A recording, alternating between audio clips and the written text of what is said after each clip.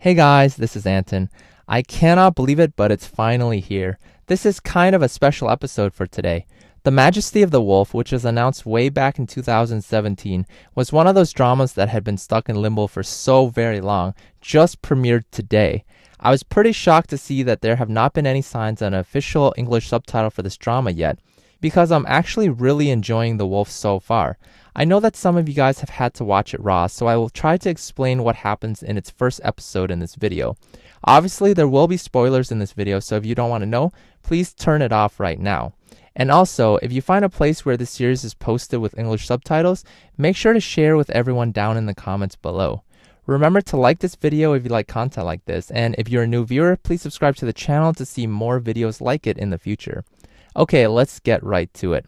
Episode 1 begins with two kingdoms fighting with each other. The Liang kingdom is taking over the Tang and getting rid of everyone. The Tang king had to retreat to the north to regroup and regather.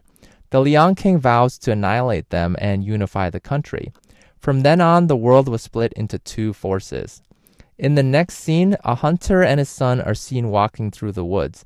They're looking to hunt for wolf meat to get rich. The son tells his dad not to be afraid of demons up on these mountains, but the dad hangs up charms just in case. They catch a big wolf in one of their traps, but as the son comes to retrieve it, they get attacked. In the next scene, the son is begging a local official to come get rid of the wolf demon that they saw.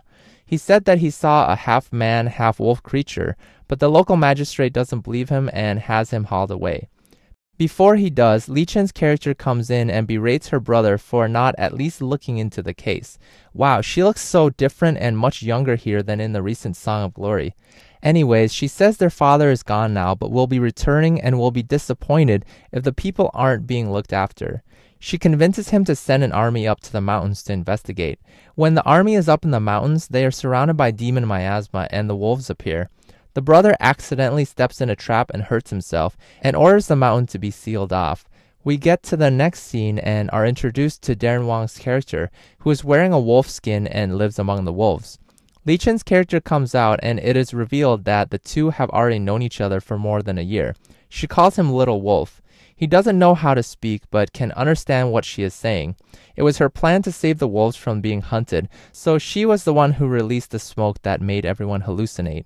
In the next scene, she tells him all the great things about human food and asks him if he'd like to join her going to the village the next day. As they are walking, she accidentally triggers a trap and he saves her. He tells her that humans are bad. She replies that not all humans are bad and he is human and not wolf, and he needs to be able to tell who is good or bad. She wants to prove to him that there's still good people in the world and leaves. We come to the scene of the city and her father is returning.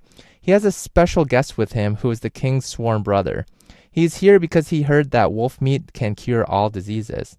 We skip to the pair as they are exploring the town. He lets some chickens out of their cage and goes to watch a play. She explains how they met through the play. After her mom died, she got lonely, so she went up to the mountain to look for her mom's favorite flower. She ran into him and discovered he was sick. She nursed him back to health, and because wolves always repay their debts, he led her to where the flower was. When they became good friends, she forgot about how lonely she was. She has a wolf's tooth necklace made and gives it to him as a lucky charm. At the end of the play, she asks him if he would like to become a human forever to be with her, but he gets distracted when he smells candy and leaves. He almost gets into an altercation when the candy seller asks him to pay and he accidentally shoves him. Luckily, an elderly woman comes to save him and pays for the candy. He learns that there are good people in the town. She finds him and learns that he only ran off because he wanted to get her the candy. The chemistry is seriously on fire in this drama, you guys. We skip to a scene between her dad and the special guest, who claims that they are both right hand men to the king, but the difference is her dad is like a guard dog, but he is more like a wolf who helps the king conquer lands. Chen barges in and says wolves are strong because they know their place and have the intelligence to retreat when they need to, unlike foxes who have to rely on others to intimidate others weaker than them. Being called a fox is a pretty serious insult. The father scolds her for speaking out of place and grounds her for seven days. Later on, her dad comes in to get her and, over dinner, praises her for speaking his mind.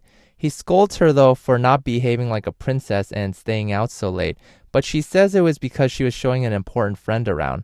She says he is loyal and kind, and her dad tells her he would like to meet her friend one day. On the next scene, the guest is still upset, but a servant brings in medicine soup to him as an apology. He asks about Wolf Mountain, where he wants to catch some wolves to make medicine.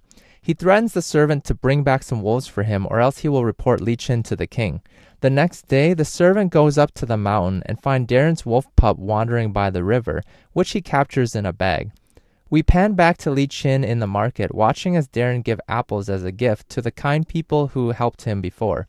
As they are talking, he leans over and kisses her, and she asks him where he learns it from. She remembers that he saw a little kid kissing his mom to show love. Darren then tells her he likes her, and she tells him that only he is able to kiss her. He suddenly hears the baby wolf in the distance and runs back to the mountain only to find out that his friend is missing. He returns back to the city furious and tracks down the puppy to her father's estate, where the poor dog is still whimpering inside its bag. And that's where the episode ends. You guys, I'm in love with this series. It's been a while since I've been super engaged in a drama like this. The chemistry between the two main leads is awesome, and I really like the way the storyline unfolds and characters get introduced. Sorry for this super abridged version though. Hopefully, an official English subtitle version for this comes out soon because this series has definitely been a pleasure to watch so far.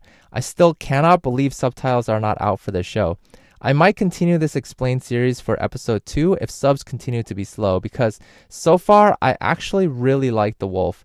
Let me and everyone else know if you're able to find any English subtitles anywhere and where to watch this great series. I really like both Li Qin and Darren's acting here. I think they really nailed their roles. I can really feel the tension between their two characters. I cannot wait to see what happens next. What do you guys think of it so far?